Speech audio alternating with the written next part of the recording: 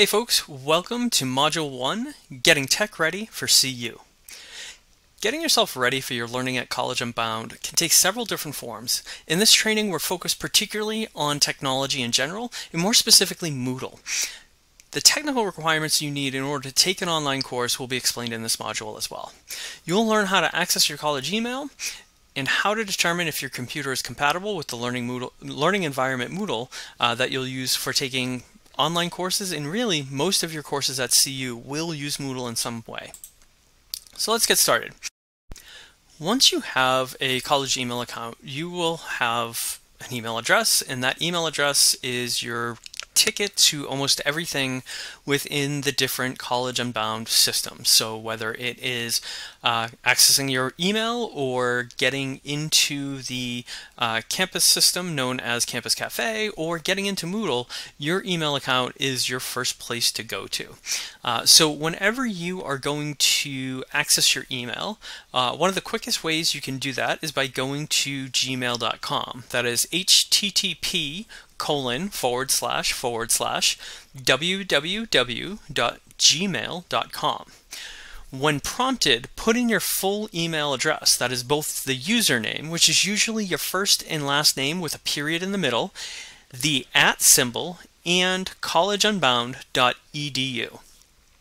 Your college email is your primary means of communication within the college and with your instructors. It's important when you enroll in a course that you make sure to check it regularly, even a few times a week, especially if you're taking an online course. Uh, you want to make sure you're getting the most recent updates from both the college and your courses. Now, some faculty may use phone to text or to call, but email is still an essential part of your college experience, and you should be prepared to um, use it regularly. And of course, if you know that you won't go into your college uh, your college unbound email account often enough, we also encourage you to set up the auto forwarding system so you can receive an email at an email address you do regularly check. This week's module includes a resource on how to forward your email. Let's talk about hardware. The hardware to get up and running with your courses at CU is to have a PC or a Mac with a recent operating system and internet access. We don't advise trying to do your, your entirety of your education on a smartphone or even really a tablet. Uh, we strongly recommend to have a computer of some sort, um, such as a laptop or desktop. For some folks, internet access may not be entirely, uh, they may not have great into access to internet and we'll cover that later but ideally your device should be able to access the internet um, on a regular basis. You should also have a webcam and microphone. For some folks, again, they might not have one built into their computers and may either purchase one, uh, such as a headset microphone or a, a uh, plug-in webcam, or make use of their smartphone when needed for things like Zoom meetings or other situations where video and audio recording is needed. Let's talk about digital skills. For College Unbound, students should develop basic computer skills in order to do as well and succeed well at College Unbound. We know that technology can be a bit scary and overwhelming for some, and yet inevitably there are technologies that you use effectively every day, whether it's a car, a machine for work, appliances at home, or a smartphone. You often are using a variety of technologies throughout your day and doing so quite effectively. So we say that because there's no reason you we have any expectation that you can't transfer some of that that understanding or stretch yourself a little bit more to get comfortable with the uh, technology that we use for teaching and learning.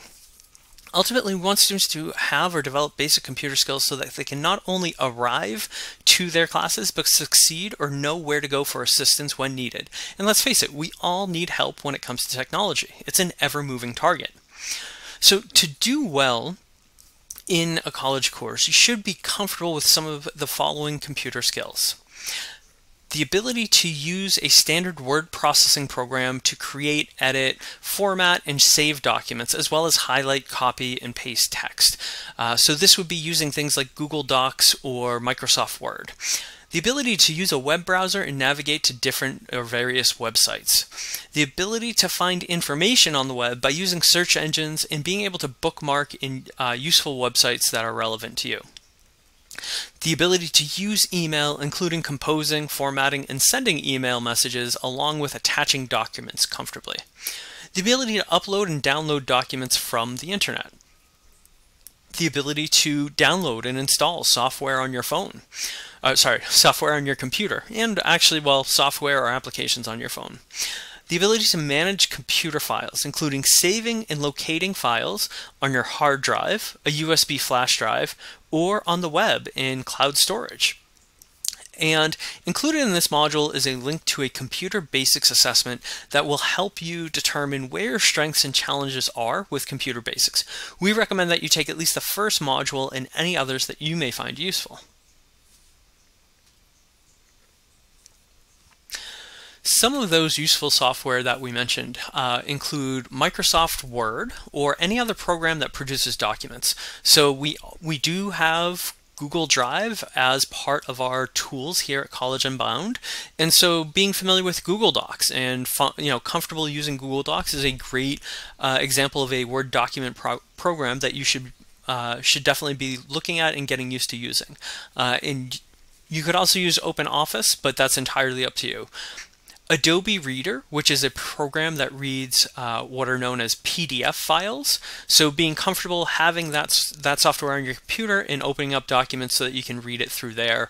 Um, there's often native programs for reading PDFs within browsers or on a smartphone, but just knowing that if you're not running into those, then making sure that you get uh, a version of Adobe Reader, which is a free program online. Uh, a video player. So if you know if you're on Windows, it could be Windows Media Player. If you're on a Mac, it could be QuickTime Video, but something that will play video files on your computer. And then also making sure you keep the most updated version of whatever internet browser that you're using.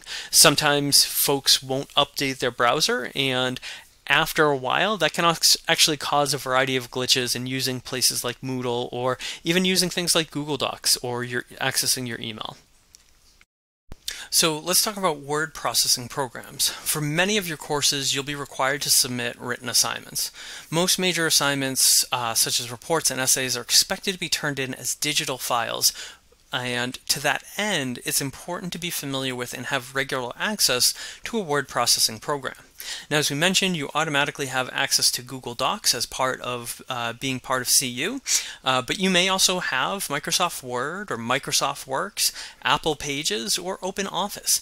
Any one of these word processing programs is capable of handling the types of assignments you're likely to come across in your college courses and all of them allow for you to save your written documents in different file types because sometimes instructors might specify a particular file type. For instance, they might want you to submit it as an RTF or a DOCX or a PDF.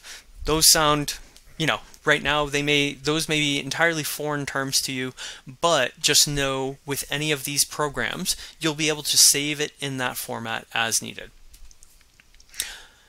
So let's talk about web browsers. You may be familiar with or have one or more of these browsers. Um, Google Chrome, Mozilla Firefox, Apple Safari, or Microsoft Edge. These are the most ideal versions, or the most, these are the best browsers to have for using Moodle. There's lots of other browsers out there, uh, and there's lots of other reasons why you might have other browsers, but these four are the ones that Moodle is best prepared to make to to work with. So just keep that in mind is that if you're using a different browser than these, you might run into some hiccups. Um, and that's not to say when using any of these, you might not you run into some hiccups.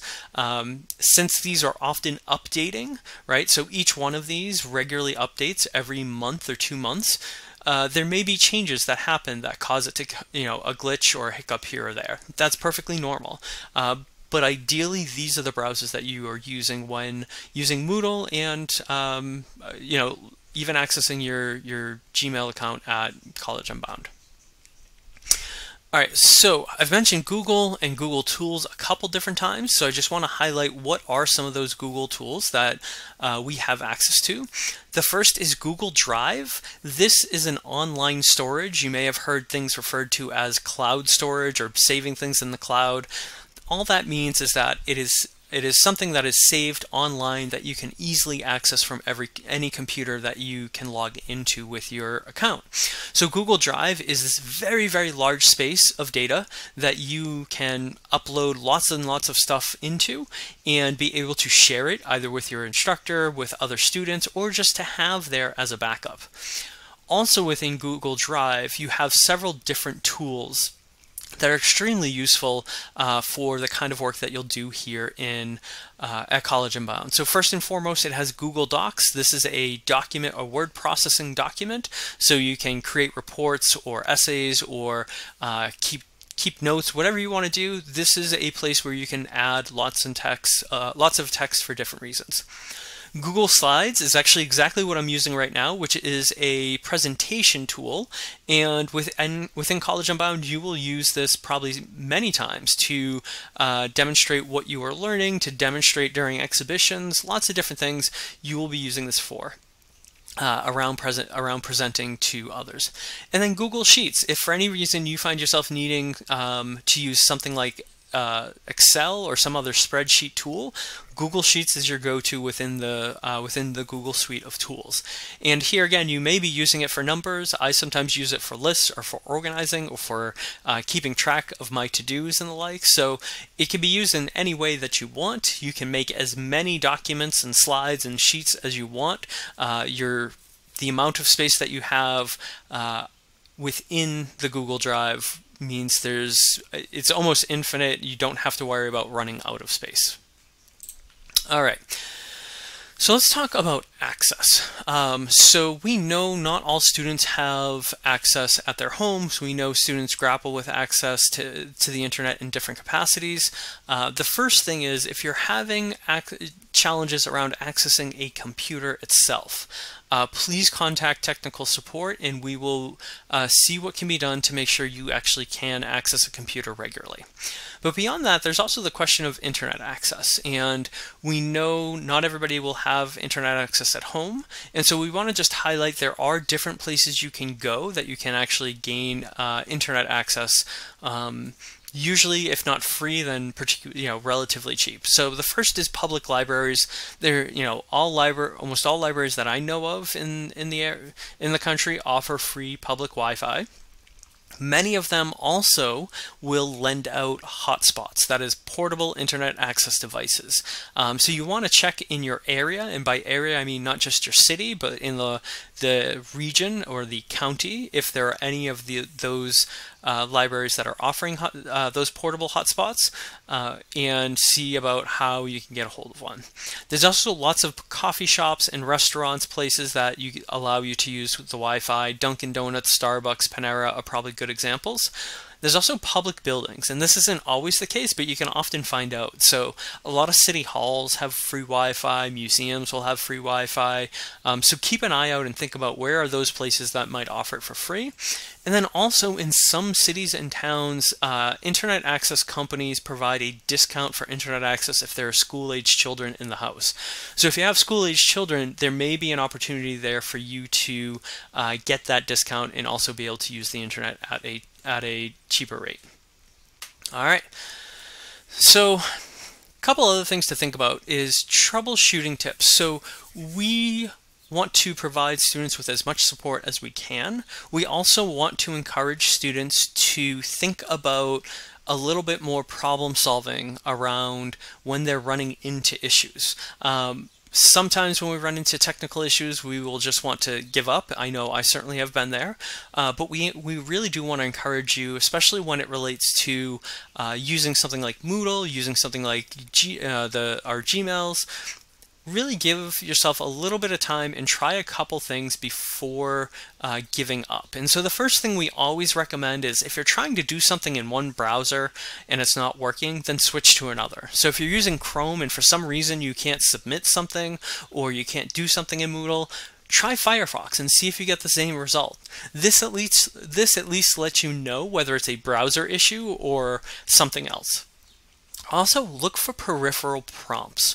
So sometimes if you're trying to do something on a web page, there might be some kind of prompt or warning indicator, and this may show up in the address bar. Uh, there might be an exclamation point, or there might be like a red, uh, red exclamation point with a circle or a question mark in the address bar. And so keep an eye out for those things and click on them to figure out, you know, what is going on. It's always useful to double check your internet access and make sure that it's it is running okay. Uh, there's been plenty of times when I've tried to do something and of course my I my internet was off or I wasn't connected and so I couldn't do it because I wasn't connected to the internet. We also recommend if you're, you know, if, if it's seeming something that's glitchy, either closing the browser out and uh, restarting the browser or actually rebooting the computer or device from the beginning. Sometimes you do need to essentially clean the slate and go back in and, you know, there's plenty of times that that works as an option. And then, of course, if none of that is working, we definitely want you to reach out to us. We want you to, you know, let us know what challenges you're running into. When you do reach out to us, uh, obviously you want to contact us at tech support at collegeunbound.edu. And then we want you to include as much relevant information as you can to help us figure out what's going on or to at least allow us to not have to ask a lot of questions and us go back and forth. We want to be able to help you as quickly as possible. So any information you can give us is really important. So for instance, we might ask or we might encourage you to provide us with all the with all the details to the actions that you took. In other words, what happened, how did it happen, what did you click on? Any of that information is really helpful for us. Um, if there is a if you're working within a particular page or a particular website, if you can copy that link and include it in the email, that's really helpful.